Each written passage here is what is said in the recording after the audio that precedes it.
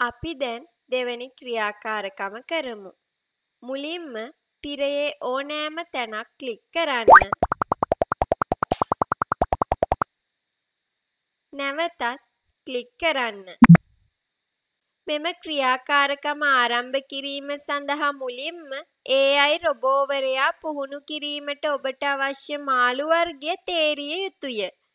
ඒ සඳහා වර්ණ සහ හැඩතල ලබා දී ඇත. ඔබත් එම හැඩතල සහ වර්ණ අතරින් කැමති වර්ණයක් හෝ හැඩතලයක් තෝරා ගන්න. මම කොළ වර්ණය තෝරා ගැනීම සඳහා ග්‍රීන් බටන් මත ක්ලික් කරනවා.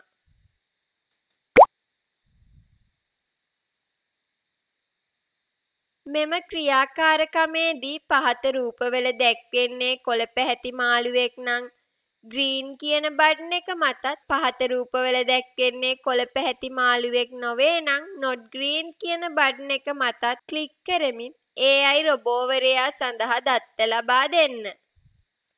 මෙහි පළමු රූපයේ දැක්වෙන්නේ කොළ පැහැති මාළුවෙක්. එම නිසා මම ග්‍රීන් බටන් එක මත ක්ලික් කරනවා. මෙම රූපයේ දැක්වෙන්නේ රතු පැහැති මාළුවෙක්. ඒ නිසා මම නොට් ග්‍රීන් බටන් මත ක්ලික් කරනවා. මේ ආකාරයට කොළ පැහැති මාළුවෙක් දැක්වෙන රූපයක් නම් ග්‍රීන් බටන් එක මතත් කොළ පැහැති නොවන මාළුවෙක් දැක්වෙන රූපයක් නම් නොට් ග්‍රීන් බටන් මතත් ක්ලික් කරමින් AI රොබෝවරයා සඳහා දත්ත ලබා දෙන්න.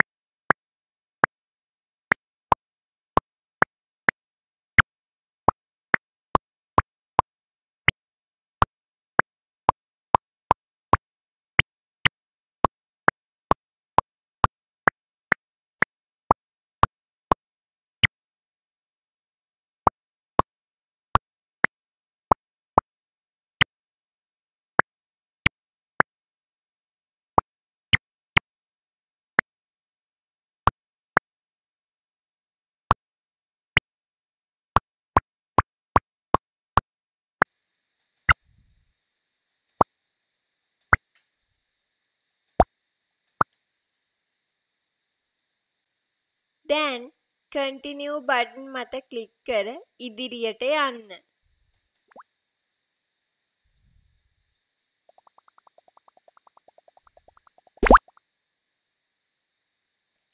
තිරයේ ඕනෑම තැනක් ක්ලික් කරන්න. නැවතත් තිරයේ ඕනෑම තැනක් ක්ලික් කරන්න. කොළ පාට මාළුවන් සහ කොළ පාට නොවන මාළුවන් හඳුනා ගැනීමට AI රොබෝවරයාට ඔබ ලබා දුන් දත්ත වලට අනුව AI රොබෝවරයාගේ ක්‍රියාකාරීත්වය බලමු. ඒ සඳහා රන් බටන් මත ක්ලික් කරන්න.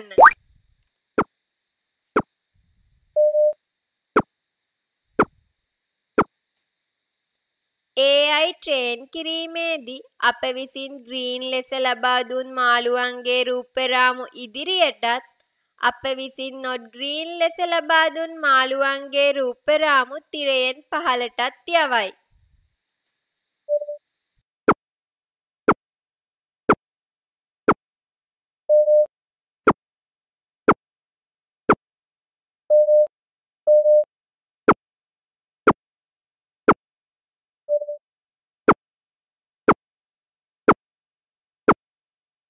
කන්ටිනියු බටන් මත ක්ලික් කරන්න.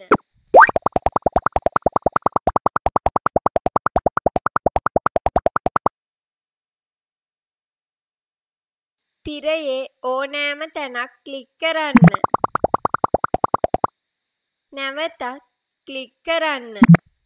ඔබ ලබා දුන් දත්තවලට අනුව AI රොබෝවරයා විසින් කොළ පැහැති මාළුවන් ලෙස හඳුනාගත් සියලු රූප රාමු මෙම තිරයේ දැක්වේ.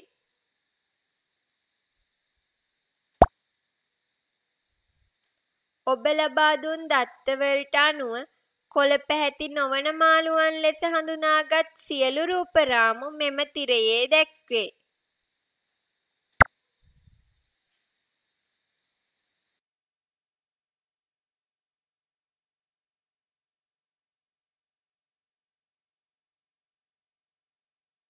මෙම තිරය තුළ කොළ පැහැති මාළුවන්ට අමතරව වෙනත් වර්ණයක මාළුවන් සිටිනවා නම් ට්‍රේන් මෝර් බටන් මත ක්ලික් කර නැවතත් AI රොබෝවරයා ට්‍රේන් කරන්න. නමුත් මම ලබා දුන් දත්තවලට අනුව නිර්මාණය වූ AI රොබෝවරයා මගින් හඳුනාගෙන ඇත්තේ කොළ පැහැති මාළුවන් පමණයි. එම නිසා මම කන්ටිනිව් බටන් මත ක්ලික් කර ඉදිරියට යනවා.